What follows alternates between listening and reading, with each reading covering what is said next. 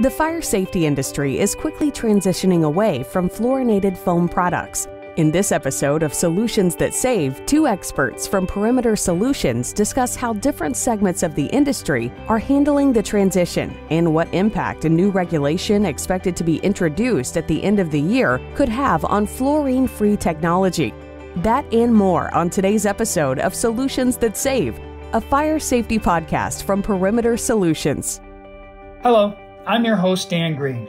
Welcome to Solutions That Save, a fire safety podcast from Perimeter Solutions, helping save property, natural resources, critical infrastructure, and lives. In today's episode, Craig McDonnell, General Manager of Fire Suppression for the Americas at Perimeter Solutions, sits down with Perimeter Solutions Business Development Lead and Chemist, Mark Siem. The two discuss the state of fluorine free foam technology the company's first fluorine free 1x3 product, and wrap up with a look into the future of fire suppression technology. Let's join the conversation. Uh, this is uh, Craig McDonnell. I'm the general manager with Perimeter Solutions. And today, Mark and I will be discussing the transition away from fluorinated products to fluorine free foam. As we all know, the fluorinated products have been the workhorse in the industry and legislation and corporate policies are now starting to drive this change. And I wanted to spend some time today with you, Mark, and have you walk us through what you're seeing from the chemist point of view and some of the technical challenges that we're facing. And so I thought maybe we'd start by having you share a little bit about your background and your career at Perimeter Solutions. All right, thanks, Craig. I graduated from Michigan State with a degree in human biology in, in 2007, and I've hopped on with a local company as a chemical technician in R&D but I spent most of my time doing fire testing and product approvals. I really enjoyed the science and the problem solving associated with it, so I decided to pick up a few extra credits to uh, get a chemistry degree also while continuing to work full time. Uh, I spent the next few years developing formulations for both fluorinated and fluorine free products. And a few months back, I took the opportunity where I could go out and talk about the products that we've developed over the past few years and uh, also learn a little bit about the business side as you're well aware, the fluorine free foams are are trying to replace products that are tried and true in the marketplace. And there certainly are some challenges. I thought maybe you could just talk a little bit about from a high level perspective when you're developing fluorine free foam solutions and trying to replace these products that have been around since the 1960s. Maybe a little high level view of how you think that's going. Sure. I like to compare this transition time that we're into uh, the wild, wild west. After 50 years of uh, the industry developing fluorinated products, you know the quality of the products, you know, ha- has has gotten better and better over the years uh, between the main manufacturers. Right now, with fluorine-free products, there are a few ways to develop them. You could use specialty polymers, some silicone surfactants, and some combinations of both. So over the next five to 10 years, the technology will start developing. Many of the manufacturers lean towards a similar technology, uh, which will make it a little bit easier to uh, make the progression in terms of performance. As for fluorine free products, completely replacing fluorinated products, that may take a little bit of time because the performance of the fluorinated products now has been built over the last 50 years of innovation. And we are, in essence, trying to do all that work that's been done over the last 50 years in 10% of the time. Um, so it's been pretty difficult on our end, but we're making pretty good improvements as we go. Um, there are applications that fluorine free foam can be used instead of fluorinated foam, but there's still work that needs to be done to complete uh, the removal of the uh, fluorinated products in terms of performance. This development is almost a mirror image of what went on with fluorinated products. You know, at one point, fluorinated products started out with alcohol type concentrates that were six by nines mm-hmm. eventually moved to six by six, right? And three by three, and then one by ones. We're seeing a lot of the same stuff with fluorine free. Let's start with the municipal market and what challenges do you see from developing products that meet their needs?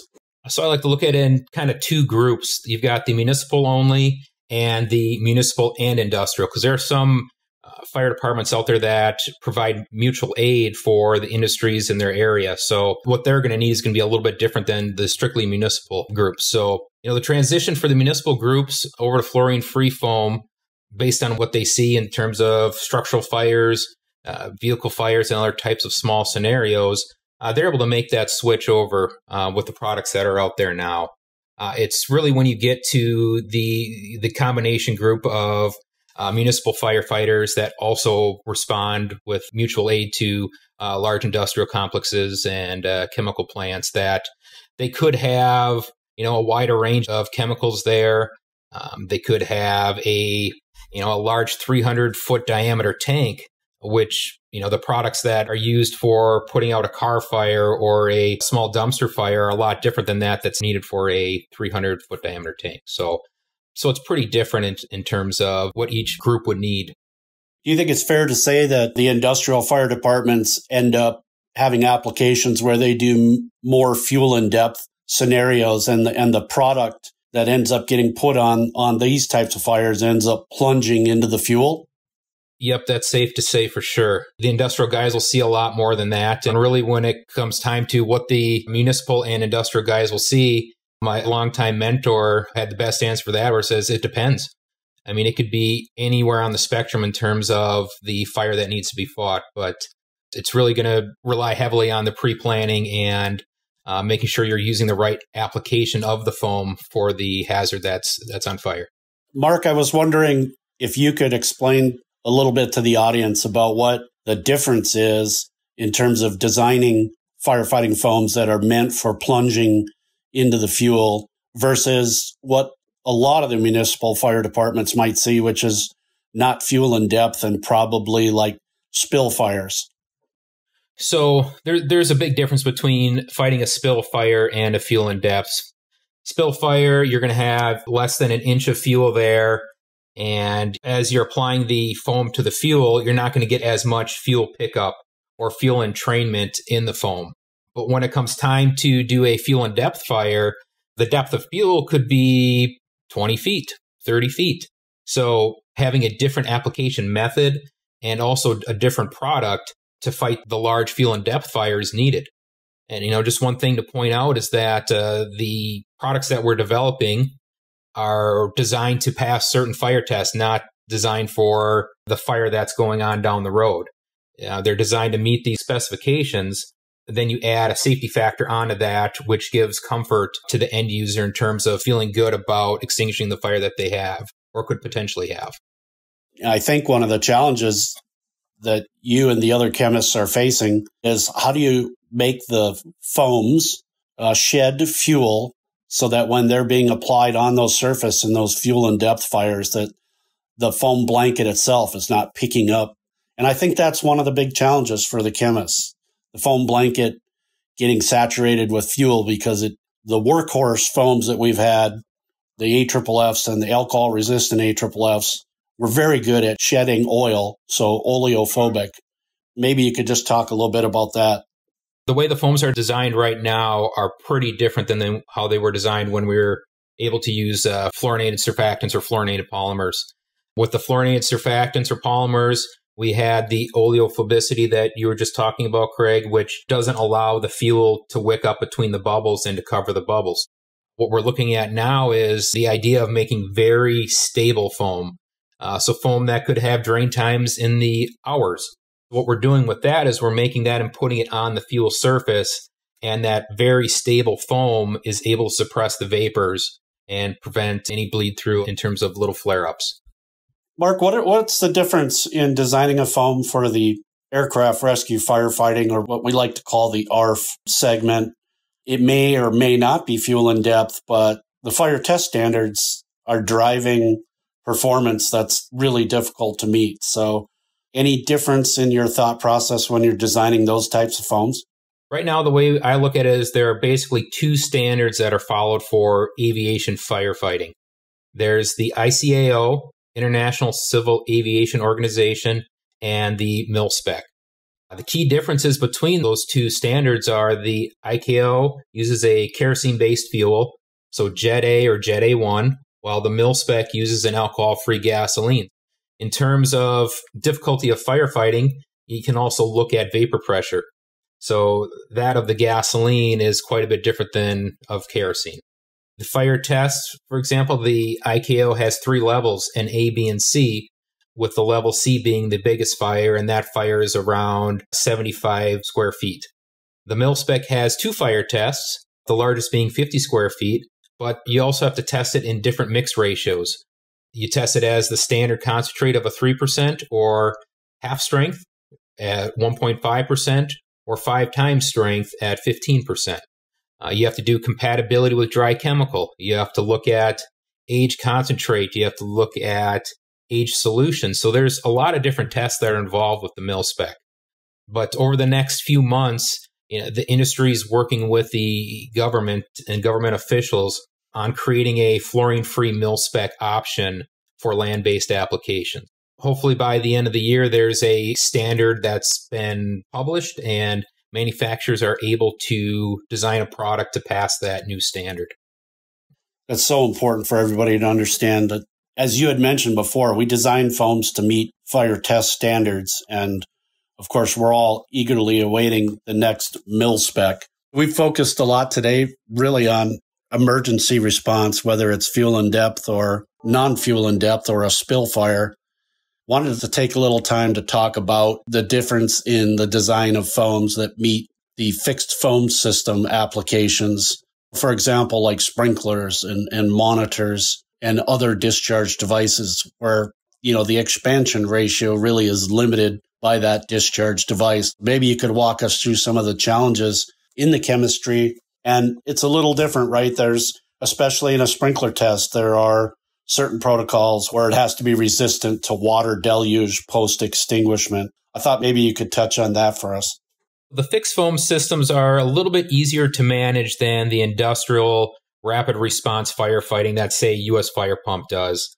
The fixed foam systems, we know what the hazard is, the size of the containment, so a system can be designed to NFPA standards with the safety factor on there can give you good fire protection. The big challenge that we have switching over from fluorinated to fluorine free products has been in the sprinkler application. Our Solberg RF3 has worked really well over the last 10 years on hydrocarbon fuels. Problem has been is finding an alcohol resistant product that uh, also works on hydrocarbon fuels. Uh, the fire tests are, are a little bit different between a hydrocarbon fire and a polar solvent fire when it comes in terms of a, a sprinkler fire test. The hydrocarbon fuels, they're tested with a five minute solution application followed by five minutes of water, like you mentioned, Craig. And what we saw in developing these products is that most of the time when the foam solution was able to hold up and the foam bubbles were able to hold up to that water deluge portion of the test, we were able to pass the rest of the test. The biggest hurdle out there is getting a product that can make it through that water deluge. I'm a little bit different with a polar solvent because if you do that water application after the foam application, you're going to dilute the fuel out enough and potentially render it non flammable. The tests are a little bit different, but in terms of building a very stable foam blanket on a hydrocarbon fuel is important. And then also on polar solvents is having a foam blanket that's able to hold up for the wait period um, between the end of the application and the start of the burn back. As you're well aware, we recently launched a new Solberg VersaGuard 1x3 fluorine free foam. This is the first one on the market. And this is true of fluorinated products as well, right? Not every foam is designed for every fuel type. Our new one by three is really targeted at crude oil and has efficacy on other fuels, but just thought maybe you could provide us a little overview of, you know, those kind of challenges. And just to let the audience know, just because a particular foam passes a particular fire test standard doesn't mean that it's good for every fuel. So what should end users and customers be thinking about? The one by three is a big step for us as a leader in fluorine free technology. We have some really, really talented people on our R&D teams in Asturias, Spain and Green Bay, Wisconsin that continue to push the envelope in terms of technology. The VersaGuard 1x3 product being designed to work well on a more crude fuel, that's something that we're going to want to uh, kind of focus our ideas on and thoughts on is developing that product out a little bit more so we're able to feel a little bit better about the application of that product on other fuels because when it comes time to develop fluorine free foams, the surfactants that are used and the materials that are used might need to be different based on the fuel or the hazard that uh, the end user has. Coming up with the right mixture of surfactants, because the difference could be having a raw material in there at 5% instead of 4% makes the world a difference. But when you look at the big picture of a formulation, you have anywhere from, say, 6 to 20 raw materials, ranging from 0.1% or lower up to 20% or higher. Coming across a formulation that is able to work on all the fuels along with being stable long term is a very difficult thing. And the possibilities that you could have for formulations are, are in the trillions. Finding a formulation out there that's able to you know work on the crude fuel along with some other fuels that have maybe a little bit higher vapor pressure is going to be difficult but uh, i believe that the group that we have is more than capable to uh, overcome that as you're well aware we are eagerly awaiting the new mil spec for firefighting foams you briefly touched on the challenges from a chemistry standpoint but what kind of impact is this going to have on the overall market when the transition occurs from fluorinated products to fluorine free?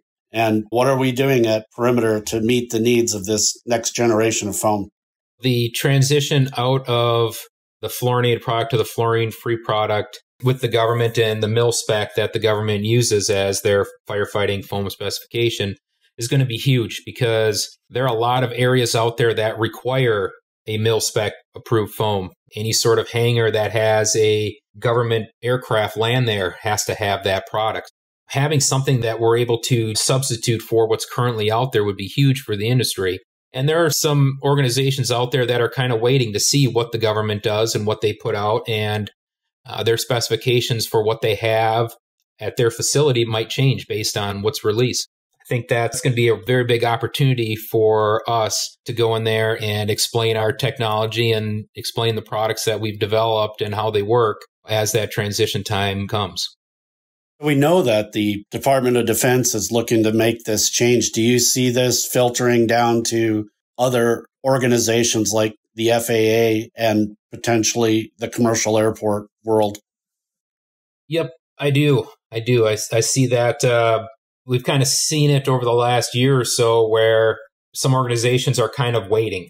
They're just waiting to see what the government puts out because maybe they don't feel as comfortable as another person for saying, yep, let's take this different specification product. For example, the ICAO fire test standard, let's use that instead of the mil spec. Then there's going to be some pushback on both sides. One is the technology good enough to be a, you know, quote unquote drop in replacement on the other side of that, I guess, is if I continue to use this fluorinated product, what sort of environmental issues am I going to have to deal with if there is a response that's needed? It's definitely evident that the changes are coming and uh, we will be prepared to meet those challenges. When you think five years out from now, what are some of the challenges that chemists face with the next generation of fluorine free foam products?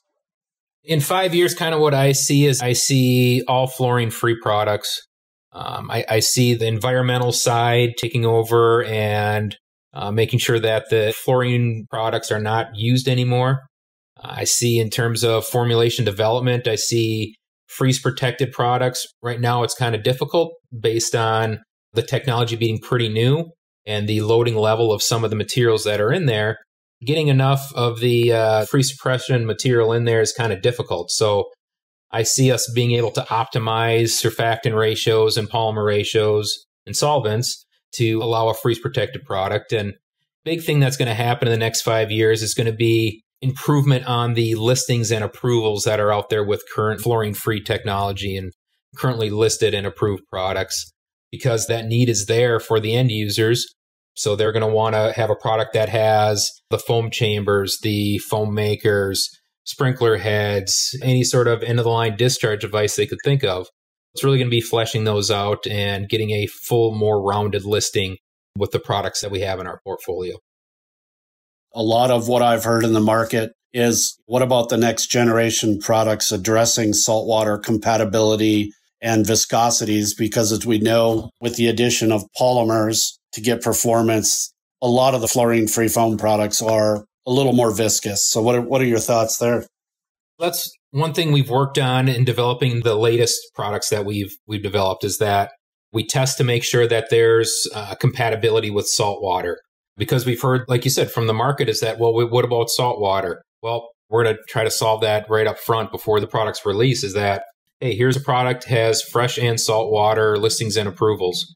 That's going to be a, a big thing for us there. Uh, viscosity, that's something we're learning every day on how to control when I talked about the talented people in the R&D group, they've been able to manipulate a few things and get viscosities in a range that are acceptable for pump proportioners and standard ratio controllers and, and anything to proportion the foam concentrates. It's really learning more about how to formulate and also coming across some of the right raw materials to use to formulate to get the performance both on the fire and also proportioning.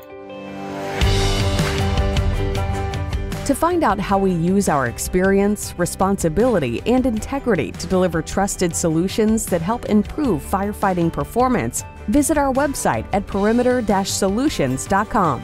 That's perimeter solutions.com. And learn more about our solutions that save property, natural resources, critical infrastructure, and lives.